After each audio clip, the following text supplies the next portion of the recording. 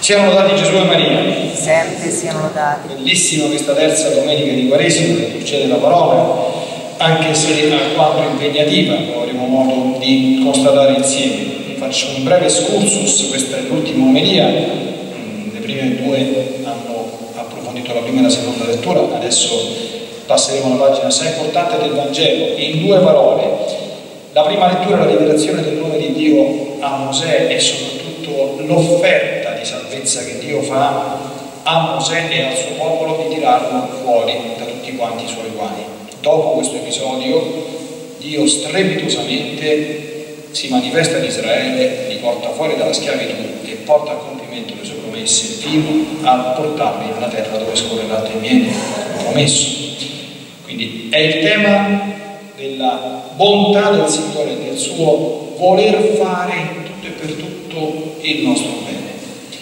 Nella seconda lettura San Paolo però riprende anche in maniera simbolica alcuni episodi dove sensibilizza su quello che poi purtroppo gli israeliti hanno combinato nel deserto, quindi di fronte a questa bontà di Dio hanno dato una cattiva risposta, hanno passato il tempo a lamentarsi, a mormorare contro Dio, contro Mosè, a fare vedere l'odore, eccetera, eccetera, fino a provocare il Signore che voi non entrerete nel luogo del mio riposo. San Paolo conclude dicendo attenzione perché questo episodio simbolico è un ammonimento per noi che ci dice e ci invita a riflettere come stai reagendo tu a tutto il bene che il Signore ti fa? Sei capace di riconoscerlo, di accoglierlo, di ringraziarlo e di ricambiarlo o scambi lucciole per lanterna e reagisci come loro e San Paolo dicendo attenzione chi crede di stare in piedi chi crede di stare in piedi attenzione questa è una parola badi di non cadere. Cioè chi pensa di stare a posto chi pensa di essere giusto e non è detto che lo sia. Perché noi pensiamo di essere giusti è tutto da dimostrare se lo siamo realmente. Perché altro è quello che pensiamo e altro è quello che siamo. Quello che siamo lo sa soltanto il Padre Eterno eh, nella sua verità, noi no ma se anche pensassimo questo, attenzione a non fare qualche capitombolo. Gesù nel Vangelo va oltre e c'è la prima parte, due fatti contemporanei.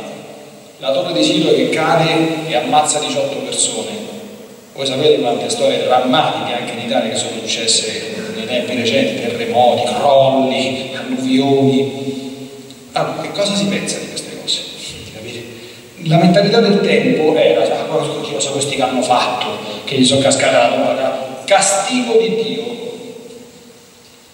Questo per questo per Dio. E dice, quell'altro fatto, alcuni galilei avevano fatto una rivolta, siccome Ponzio Pilato non è stato abbastanza cattivello con Gesù, ma lo era, ha represso quella rivolta nel sangue, dicono il sangue dei sacrifici, lo sapete che nel tempo di Gerusalemme a quei tempi si volavano gli agnellini, quindi scorreva il sangue, Pilato ha mischiato il sangue di questi ribelli, quindi ha fatto un ecatombe, ha fatto una carneficina, ha ripresso questa piccola rivolta nel sangue.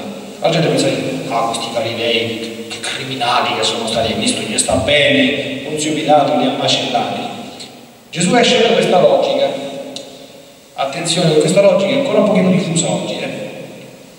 Se ti è andato qualcosa storto, chi lo sa che hai combinato? Dio ti punisce. Guardate che c'è molta gente che ancora la pensa. Gesù esce da questa logica e dice, voi pensate che questi fossero i peccatori di tutti? Dice, no, no. E se non vi convertite per dire tutti allo stesso modo, attenzione a capire bene quello che sta dicendo Gesù, non sta minacciando, sta andando molto a fondo, e sta dicendo una cosa molto profonda, molto al di là, capite? Quelle sono delle occasioni contingenti, ma Gesù dice attenzione, da dove vengono le disgrazie, il male e quelle che noi consideriamo sciagure, i disordini, la cattiveria, la crudeltà, da dove vengono in generale?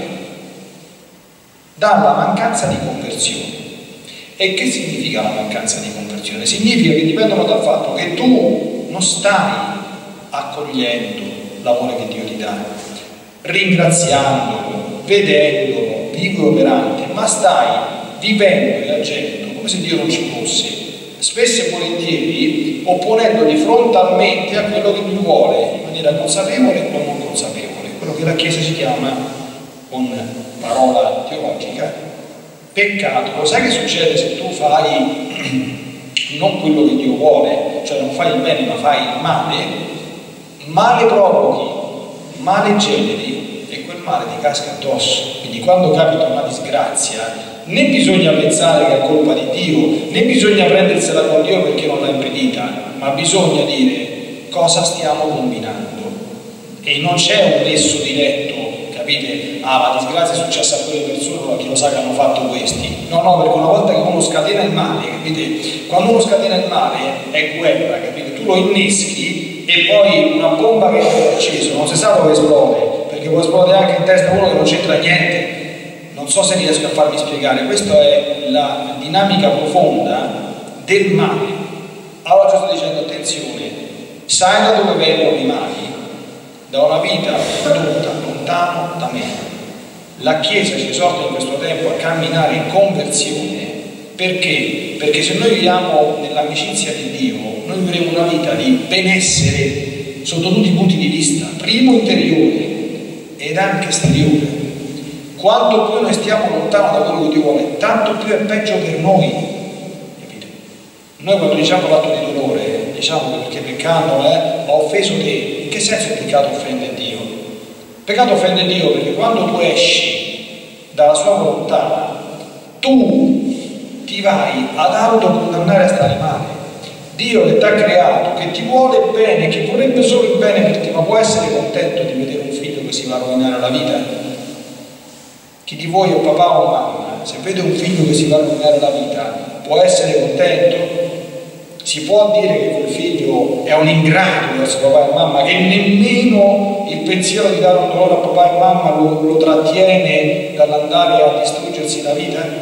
Questo funziona. Allora, poi c'è la paraboletta del vignaiolo paziente. La prima cosa che noi dobbiamo capire è questo i guai vengono dalle intenzioni. Quando Dio interviene, sapete Dio cosa fa? Dio impedisce che tutto il male che noi facciamo ci venga completamente tutto addosso. Quindi non capite, non è che Dio, cioè, quello che ci succede è molto meno in confronto a quello che ci meriteremo. Voi sapete cosa dice un certo San Tommaso d'Aquino, che non è l'ultimo arrivato, eh? Sapete che in Quaresima ogni tanto si può parlare, anzi è bene parlare, della triste realtà dell'inferno. L'inferno non è una bella realtà, l'inferno è un luogo di tormenti, ma sapete San Tommaso cosa dice? La misericordia di Dio arriva pure all'inferno. In che senso? Nel senso che i diavoli sono così cattivi che se ti potessero fare tutto il male che vogliono pure all'inferno, ti torturerebbero in una maniera indicibile. Ma Dio non gli permette di torturarti più di quanto il numero e la gravità dei tuoi peccati lo hanno meritato.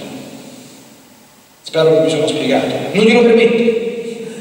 Quindi capite? Cioè, è talmente, che capite, così come tutti quanti i guai che ci succedono, sono molto meno in confronto a quelli che potrebbero succederci se Dio lasciasse che le nostre pessime azioni portassero tutte le loro conseguenze. Quindi immaginate quando uno bestemmia dicendo ah se Dio esistesse non sarebbe successo questa disgrazia. Pensate, mettete dalla parte del padre e dice, non sai quello che dici, perché se non ci avessi messo le mani questa disgrazia, fa ridere le galline, sarebbe successo molto peggio e noi non lo vediamo qui. Capite? È così, eh? Allora, perché in questo contesto Gesù racconta la paraboletta del vignaiolo paziente e poi concludiamo? Perché l'unico problema è che il nostro Signore pazienza cerca di farcene capire queste cose, dice figlio mio, smettila, Facciamo un esempio, non vai a messa la domenica.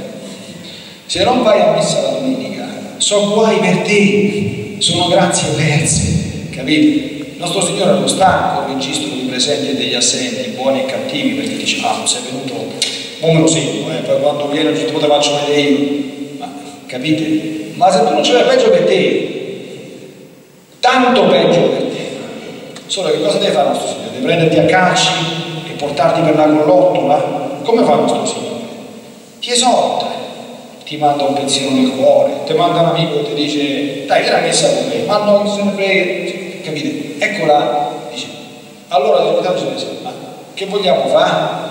Pazientiamo un po', pazientiamo. Allora, come si pazienta però? Dice, si zappetta un po' e si mette il concime. Come fa nostro Signore a cercare a volte di farci ragionare?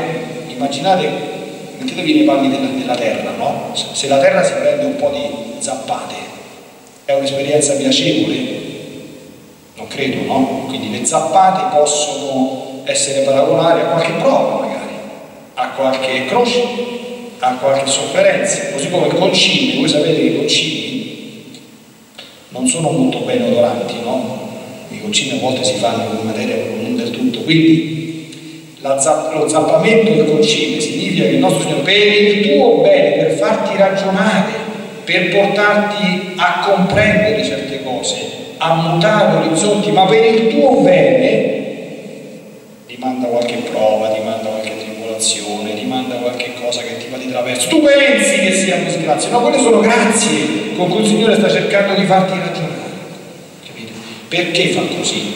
Perché il Signore ci tratta sempre, questo lo sentirete dire fino alla nausea, nel rispetto della nostra libera volontà. Se tu vuoi continuare ad andare avanti così, liberissimo di farlo il nostro Signore continuerà, le troverà tutte quando saremo morti.